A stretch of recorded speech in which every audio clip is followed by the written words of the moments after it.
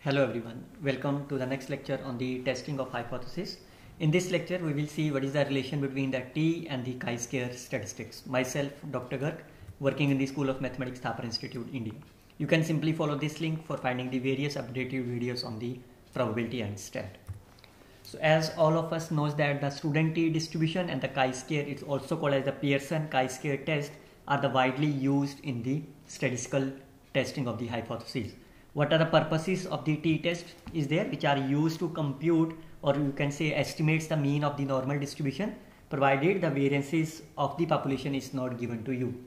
Also what is the purpose of the uh, chi-square distribution? It is basically to determine whether there is any statistical difference between the expected frequencies as well as the observed frequencies under the different contingency table so once you have seen the importance of this uh, t-test and the chi-square, we can analyze what is the relation between them. So what is the relation is?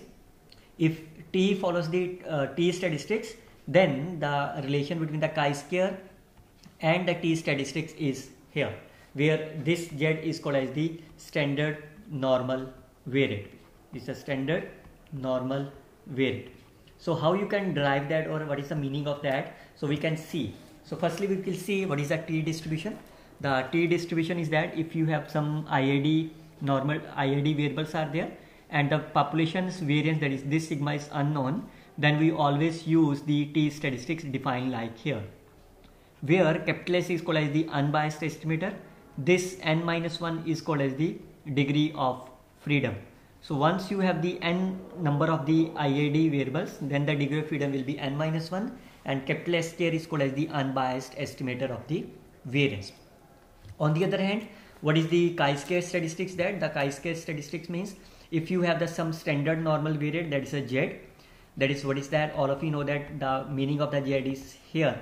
So if you put the square of this, that is a square of the Z here, this is called as the chi-square distribution and having one degree of freedom.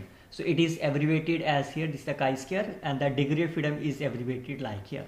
Some books will also be write like this, this way, this is the one. This one is called as the degree of freedom.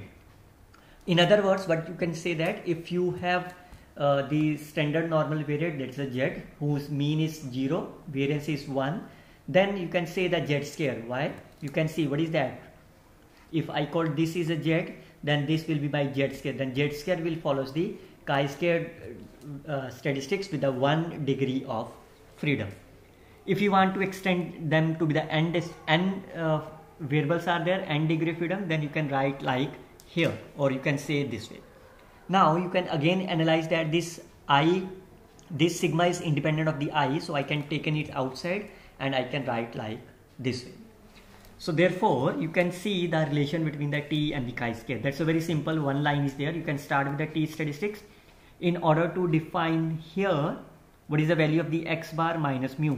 So we know that if xi's follows the normal distribution with mean mu and here and these each of the xi's are my IID then the sample mean that is the x bar will follows again the normal distribution with mean mu and the variance is sigma square by n. So you can define the z corresponding to this is this is x bar minus whatever the mean divided by their standard deviation.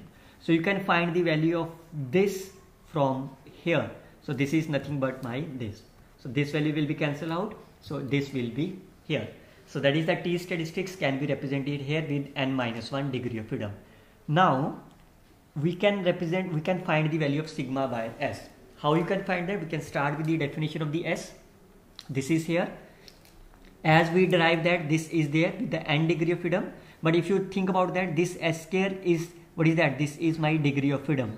So this is the unbiased estimator having n minus 1 degree of freedom. So what you can do is that you can replace this value of the n instead of the n degree of freedom. Now in this case is the n minus 1 degree of freedom. I can write like here. Then this numerator value I can compute from here as this.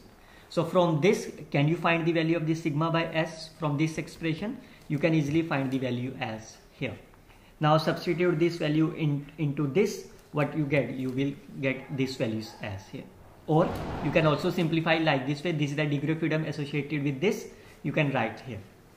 if you closely look about this term, what you can see that this is the n minus 1, this is the n minus 1, this is the n minus 1 and this part is independent of the n. So we can write in journal as I can replace this with respect to the n. So what is that? This is a t statistic, this is a chi-square distribution, this is my standard normal variate. Also we know that uh, uh, z is nothing but my chi-square of there. So you can write like here chi-square distribution with 1 degree of freedom. So that is the square of sorry this is the square of this. So I can write these values as of this. So how, how you can find the value of z is this is nothing but the square root of this. So this is the relation between the chi-square and this t square. So you can write either in terms of the z or in terms of the uh, chi-square. So if t follows, if any of these statistics, if any of the variable follow the t statistic with n degree freedom, then you can write as the z upon the chi-square will follow the relation between the t and the chi-square. So if you want to find some another videos related to the Z test, T test, all there, you can simply follow this channel name Dr. Harish Garg on the YouTube. You can find all these variables with the solved example. Till then, you can follow this link for finding the updated videos. Best of luck students. Happy learning.